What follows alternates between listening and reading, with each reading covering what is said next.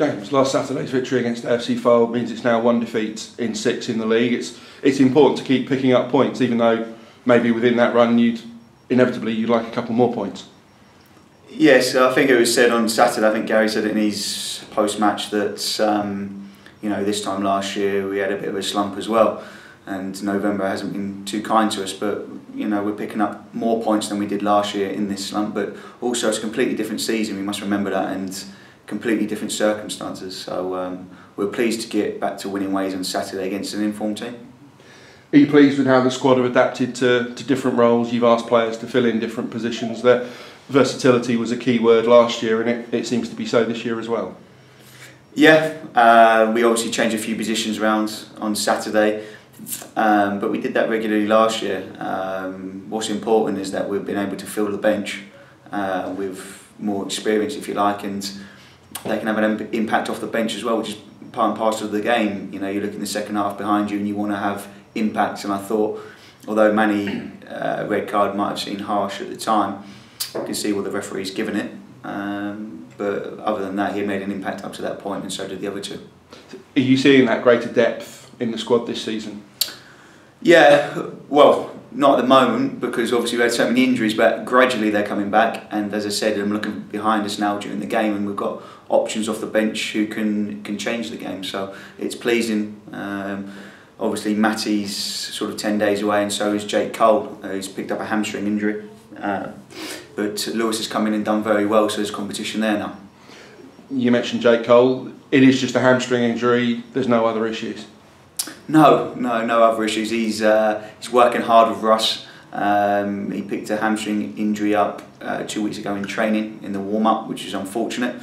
Um, but these things happen, and as I said, Lewis has come in, and we've got competition for places there now.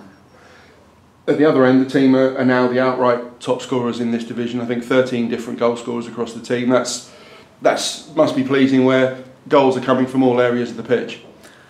Yeah, you can flip it both ways. Uh, you know, goal scorers are hard to come by in the in the market, and you have to pay for those.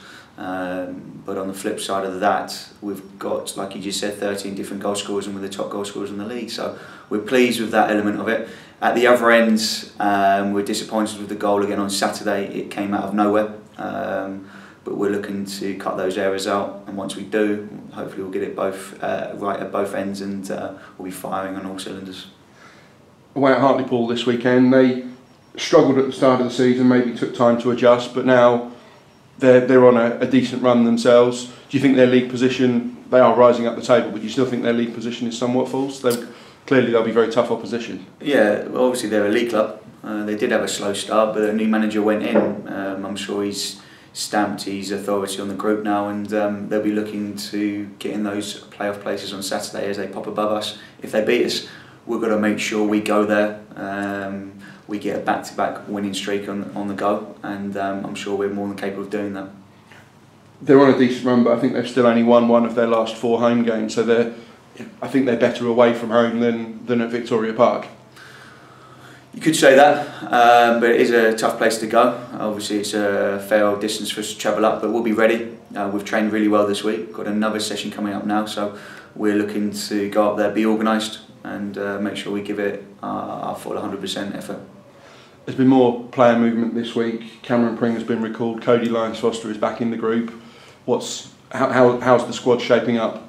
Well, we're pleased that Kodi's back. He's had five games now, five starts um, in the league below, which is positive. He needed that. Um, unfortunately, he got that sending off at Eastleigh when he started so well, so he'll be looking to come back and make an impact for himself to break into the team, and that again, that's competition for places, which is what we want. Last year we had uh, obviously a smaller group of players, but we got away with injuries. We didn't have many, and there was always competition, so we could move things around. We're just getting back to that now, and we're, we're pleased. And Mark Smith has gone out to Eastbourne with Lewis coming in and doing well. Mark needs games. Yeah, it's similar to Kodi, Chris, and, and Sean. You know, there's no point um, if they're not getting game time. There's no point using those players when they've been off for so long. It's important they're sharp. So, you know, even if it leaves us a little bit light on the bench, which it has done the last couple of weeks, but we know what's coming back in. So we've had to bite the bullet there to make sure that Sean, Chris, and Mark in this instance are ready when they come back uh, they can make an impact in the team.